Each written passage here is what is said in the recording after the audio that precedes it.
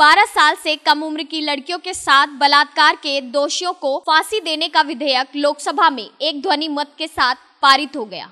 अब बच्चों के साथ यौन उत्पीड़न के मामले में कानून और सख्त हो जाएगा। इस विधेयक के बाद कठुआ गैंगरेप के बाद लाया गया क्रिमिनल लॉ अध्यादेश रद्द हो जाएगा।